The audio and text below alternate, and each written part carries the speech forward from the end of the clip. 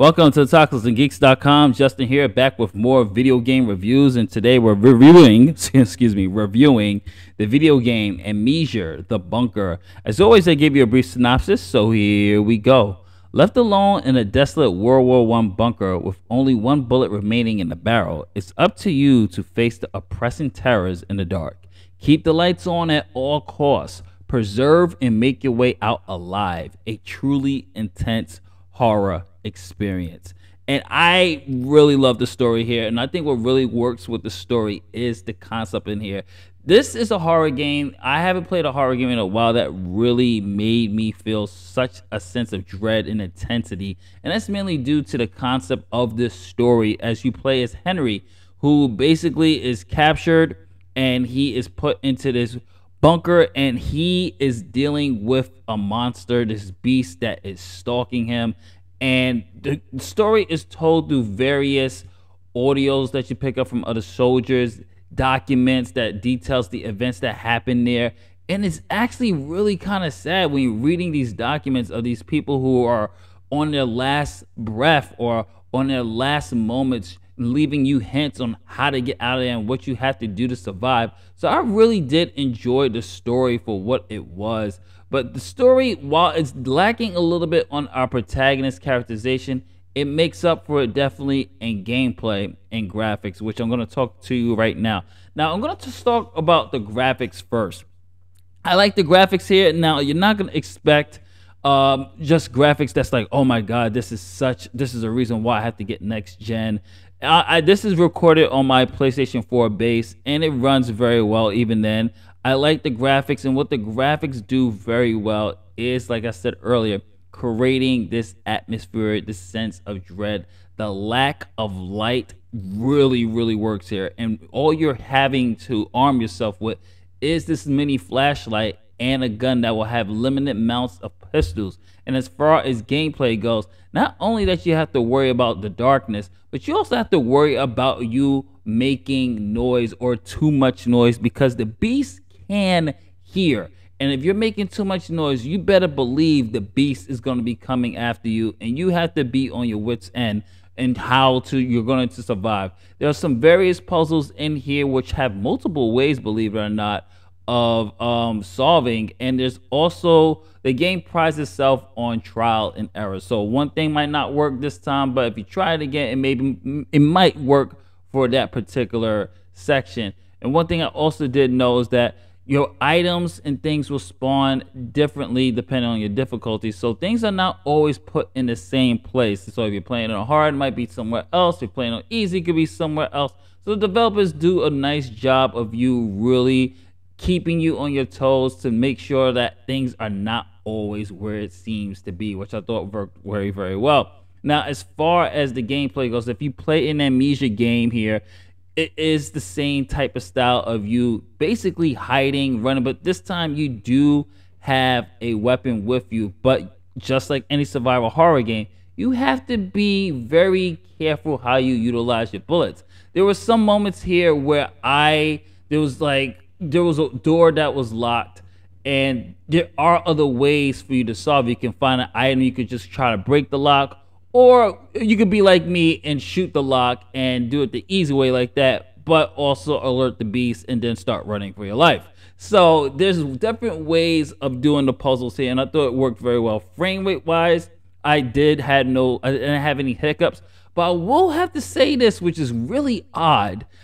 Um, starting up the game, and this is before the even title screen comes. There was a very long, at least for the PS4 base I had to wait at least a good, I believe, two minutes and 30 seconds from looking at my clock that I timed it on, on my notes. Yeah, two minutes and 30 um, seconds for the game to even get to the title screen. So there is a lengthy load time here, which I'm really shocked to see in uh, 2023.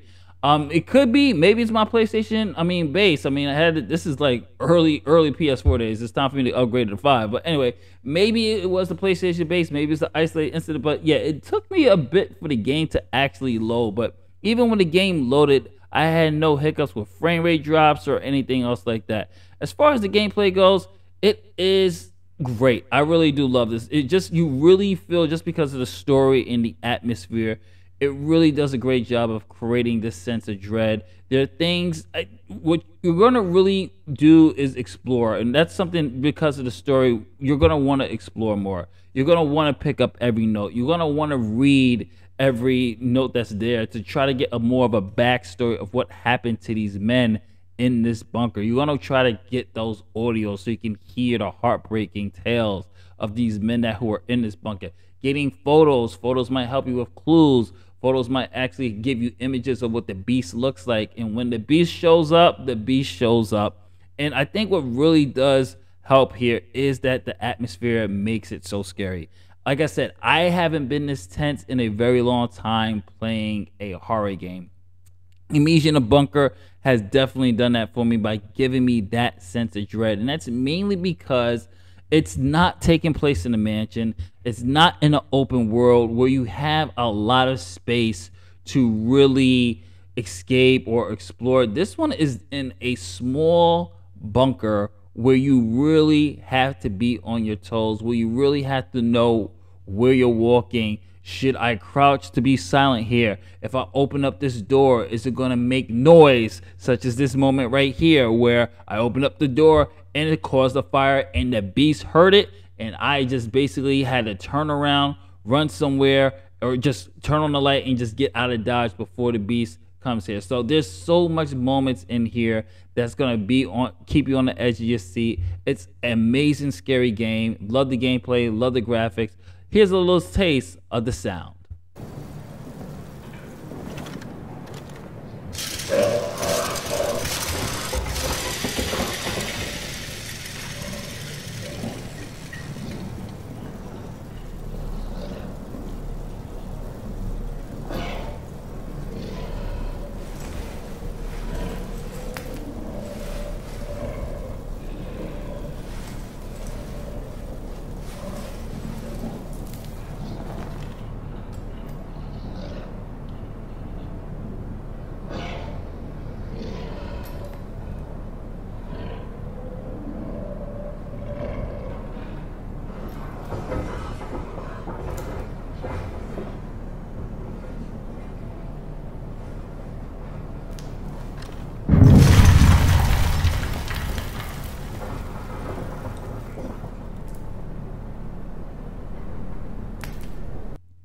As you can see there, the sound quality is really good. And like I said, the sound really enhances the experience of this. And if you have a really good surround sound or a really good sound system, turn that thing up so you can really hear the roar of the beast, the creaking sounds of the walls. It really does amplify this isolation type of experience. And isolation, if I if I could compare a game, those who are fans of Alien Isolation will get the same type of vibe here of is the beast close? Is the beast in the walls? Where's the beast coming from?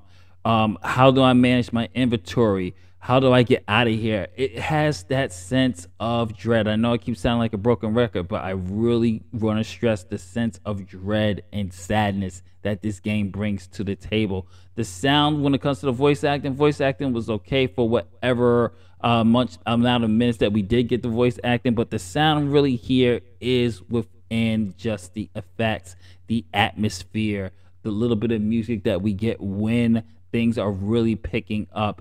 It really gets the heart pumping, and I'm really, really happy to report that the sound really did its thing to really give you kind of a, I, I will dare say, a little bit of a horror cinematic experience of what it kind of feels like to be in a horror film. But what I would have to say though is it does enough to really immerse you and really make you feel like, oh my God, I got to get out of here. I got to get away from this beast. And I think that's where the scares really come in. It's not that much jump scares, believe it or not. There, don't get me wrong. There are jump scare moments in here, but what really works is those loud thuds, the wall shaking, there's lights sometimes going off and then you can hear the beast if the lights is off you don't know where the beast is coming from so there are a lot of things when it comes to sound what they were able to utilize that really will enhance the experience and will really enhance you getting feared and you getting tense. So for my final thoughts on this, Amnesia the Bunker is a must get. It's a must get. It's definitely one of the best horror mo- um, horror movies. Oh my gosh, Justin, one of the best horror games. It feels like a horror movie playing it. To be honest with you, one of the best horror games of 2023. It has a solid concept and this isolation concept, and I kind of like these horror games that have a more smaller scale. And I'm not talking about smaller scale like um as term as budget or anything like that. I'm talking about location, focusing on one character. And we've seen, I've, I've seen things like that with Visage. Of course, I've seen things with a little bit of obviously Amnesia the Bunker. We've seen that a little bit with Tormented Souls. So I kind of like these more smaller, isolated horror games where it really is just the main focus of man versus beast, or it's just you using your wits and thankfully, this time you do get to, uh, unlike other Amnesia games, you do get to defend yourself on this one. But I really did like this game a lot, and I really thought it did a great job of really creating that sense of dread and that atmosphere that I have been looking for for a very long time. As far as the characterization goes, the story when it comes to the main character, we don't get too too much deep delve into it, but that that's that's neither here or there. I'm not gonna like really knock too much points off for lack of characterization here. It's not like we're getting this guy's whole biography or anything else like that because the whole concept is to survive this this situation. So overall, I'm gonna give Amnesia the Bunker a B plus. Definitely recommend this. This is just from otakusandgeeks.com. If you like what we do here, don't forget to like, share, subscribe, hit the notification bell if you're watching this on Otakus and Geeks. By all means, browse our website. More reviews to come and we'll catch you on the next one. As always, later days. Peace.